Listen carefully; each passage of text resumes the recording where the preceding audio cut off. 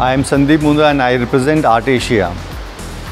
In Art Asia, we are into manufacturing of solid wood furniture and home textile products and we are exporting all these products to throughout the world.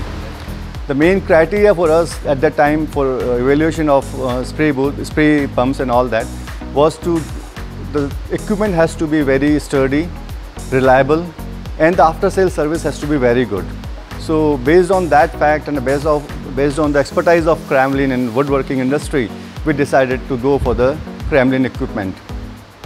Convenience for the sprayer as, as the design of the spray gun and the weight of the spray gun is light so it's and the design ergonomic design of the spray gun is very good so the fatigue to the sprayer is much less.